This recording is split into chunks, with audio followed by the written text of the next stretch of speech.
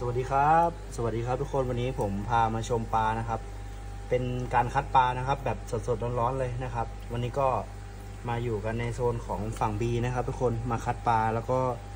ตรวจเช็คสุขภาพปลาพร้อมที่จะเอาไปให้ทุกคนได้เลี้ยงกันนะครับ ก็คือปลาพวกนี้นะครับนี่ครับปลาพวกนี้นะครับนี่นะครับเดี๋ยวให้น้องซูมให้ดูนะครับปลาพวกนี้ที่ผมกำลังคัดอยู่เนี่ย นะครับ แยกส่งใส่ในถุงเนี่ยนะครับ ก็คือเรากำลังที่จะเอาไปตรวจเชื้อแล้วก็เอาออกมาวางขายให้ทุกคนนะครับ อันนี้ก็คืออเราที่ปลาที่เราคัดไปนะครับ ใส่ถุงไปละ ในถุงเยอะแยะเลยนะครับ ทุกคนเนี่ยทุกคนเห็นไหมในถุงเยอะแยะเลยนะครับ เดี๋ยวเรามาชมกันนะครับ หลังตะข่ายนะทุกคนเนี่ยสีส้มหลังตะข่ายสวยมาก สีสดมากนะครับ บอดี้หนาอ้วนกลมเลยนะครับ สีเข้มมาก ตัวนี้สวยมากนะครับนี่สำหรับพี่ๆน้องๆท่านใดที่ชื่นชอบปลาคาร์ฟจักรพรรดินะครับ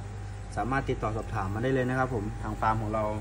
มีบริการจะส่งทั่วไทยส่งถึงบ้านนะครับ เดี๋ยวยังไงเดี๋ยวผมมาอัปเดตปลาสองถุงนี้ให้ชมกันอีกทีนึงนะครับสำหรับวันนี้สวัสดีครับ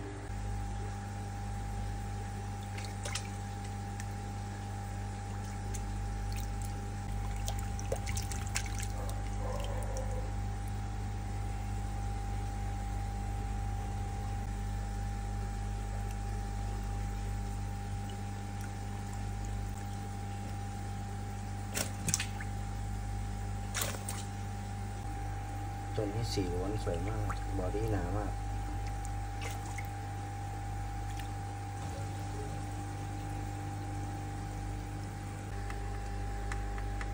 สวยจังเลย นี่ควงกุกนะครับ ซันเก้โชว่า